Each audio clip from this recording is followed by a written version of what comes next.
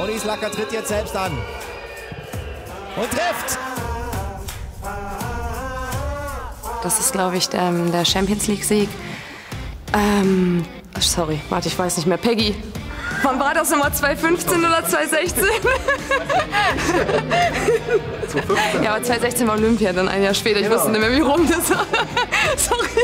Da es noch in Deutschland war, glaube ich, war es nochmal was Besonderes, vor 20.000 äh, Leuten in Berlin zu spielen. Und ja, der zweitschönste Moment oder ja, der zweitschönste Moment will ich nicht sagen, vielleicht mit der schönste Moment, glaube ich, war ja, das Olympiagold ähm, in Rio 2016. Ja, natürlich war es nochmal was anderes, auch eine neue Herausforderung. Ähm, bin aber auch noch nie aufgestiegen, deswegen war das auch was Besonderes.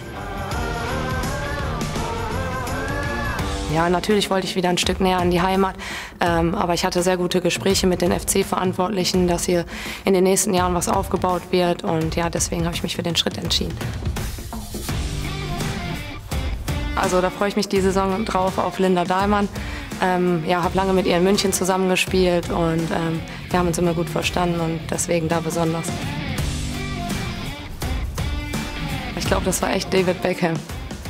Ja, ja, weil er die besten Freistöße, glaube ich, schießen konnte und Standards halt brandgefährlich war.